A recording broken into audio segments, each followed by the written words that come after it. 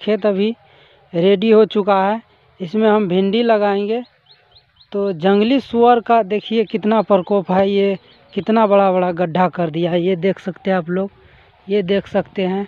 ये देख सकते हैं। इधर भी गड्ढा देख सकते हैं। उधर भी गड्ढा देख सकते हैं। अब देखिए, कितना गड्ढा है। हर जगह गड्ढा है। तो इसके लिए एक देसी जुगाड़ हम बनाए हैं। वीडियो में बने रहिए, दिखाते हैं आप लोग को। देखिए, ये सात फीट का मैंने बाँस ले लिया। और इसमें बारह गेज का ये तार देख सकते हैं पतला पतला। ये एक, दो, यहाँ तीन और चार। चार लाइन तार जो है दिए हैं, ये देख सकते हैं चारों तरफ़ आप लोग। ये देखिए, फिट कर लिया और बीच में ये लैलून का फिता दे दिए हैं ताकि रात में भी अच्छी तरह से ये चमक सके।